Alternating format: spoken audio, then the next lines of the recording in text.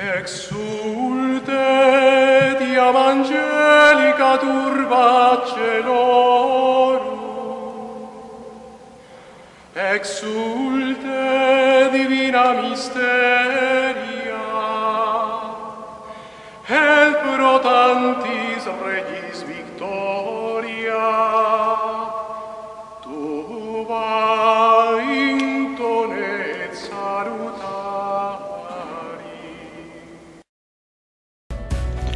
Paskah adalah perayaan terpenting dalam liturgi gerejawi Kristen.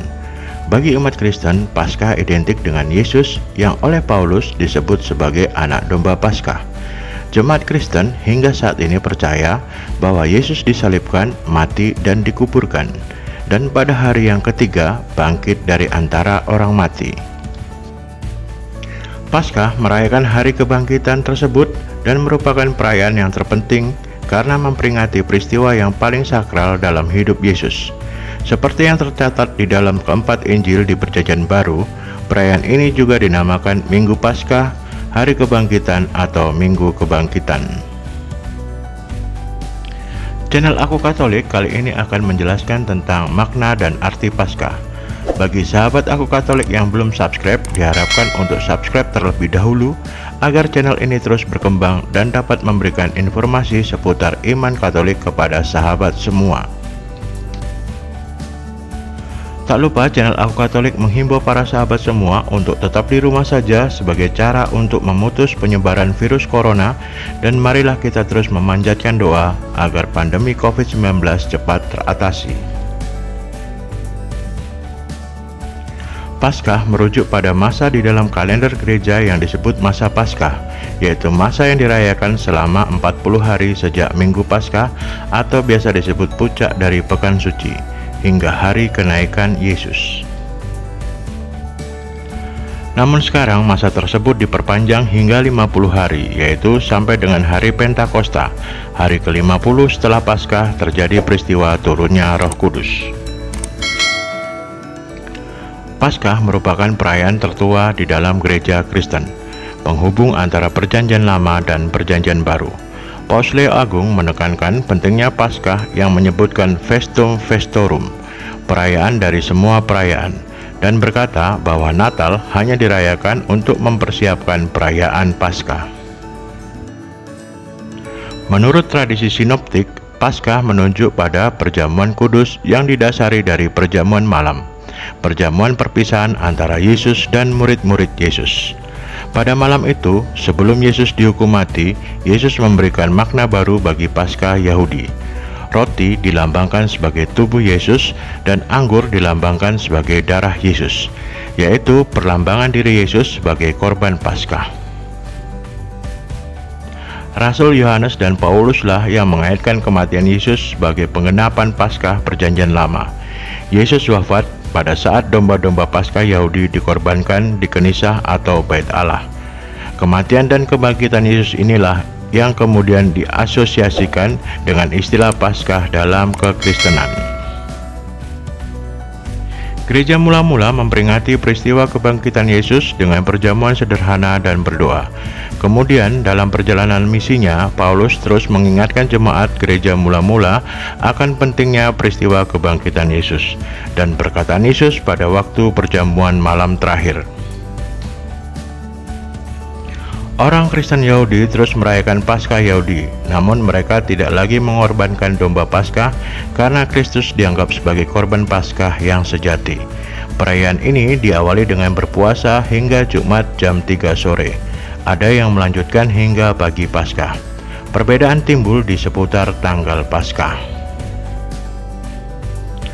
Orang Kristen Yahudi dan jemaat provinsi Asia merayakan pada hari yang bersamaan dengan Paskah Yahudi, yaitu sehari setelah tanggal 14 Nisan atau biasa disebut bulan pertama, menurut kalender mereka. Namun orang Kristen non-Yahudi yang tinggal di Kekaisaran Romawi dan juga gereja di Roma dan Alexandria merayakannya pada hari pertama yaitu hari Minggu, hari kebangkitan Yesus tanpa mempedulikan tanggalnya.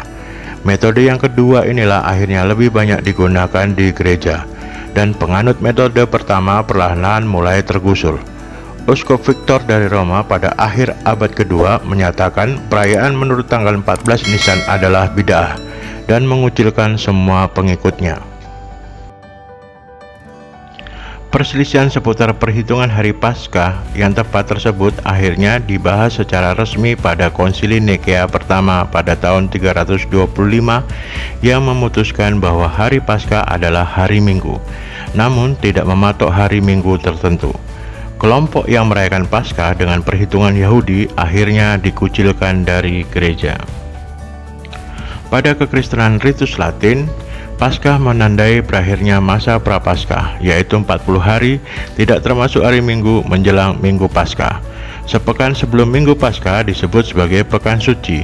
Hari Minggu sebelum Minggu Paskah, yaitu hari pertama Pekan Suci, adalah hari Minggu Palma yang memperingati masuknya Yesus ke kota Yerusalem menaiki seekor keledai. Pada kekristenan ritus oriental atau timur, masa persiapan Paskah dikenal dengan masa puasa besar dan dimulai sejak Senin bersih selama 40 hari termasuk hari Minggu. Di dalam gereja-gereja Kristen, terutama ritus Latin, perayaan dimulai pada hari Jumat Agung. Gereja-gereja biasanya menyelenggarakan kebaktian pada hari tersebut. Umat Katolik Roma biasanya juga berpuasa pada hari itu. Gereja-gereja Protestan biasanya melakukan kebaktian dengan sakramen perjamuan Paskah untuk memperingati perjamuan malam terakhir Yesus. Pada hari Sabtunya, gereja-gereja Katolik dan beberapa gereja Anglikan dan Lutheran juga menyelenggarakan kebaktian malam Paskah. Dalam kebaktian itu, sebuah lilin Paskah dinyalakan untuk melambangkan Kristus yang bangkit. Exultet atau proklamasi Paskah yang dinyanyikan ayat-ayat Alkitab dari Perjanjian Lama yang menceritakan keluarnya bangsa Israel dari Mesir dan nubuat tentang Mesias dibacakan. Bagian kebaktian ini mencapai puncaknya dengan menyanyikan Gloria dan Haleluya, dan Injil tentang kisah kebangkitan dibacakan. Sama seperti kebaktian Jumat Agung, bagi gereja Katolik Roma, malam ini biasanya juga digunakan untuk sakramen baptisan kudus, malam penerimaan anggota jemaat gereja yang baru.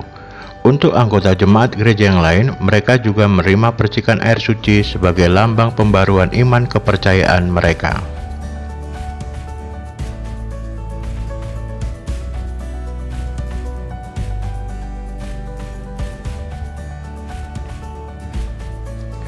Demikianlah tadi penjelasan channel Aku Katolik tentang makna dan arti Paskah. Kritik dan saran dari sahabat semua tetap kami harapkan dan jangan lupa untuk subscribe dan share channel ini. Sekali lagi, channel Aku Katolik tetap mengingatkan agar sahabat Aku Katolik tetap di rumah guna memutus penyebaran virus corona.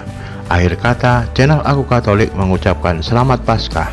Semoga Tuhan selalu memberkati kita semua. Pace Ebene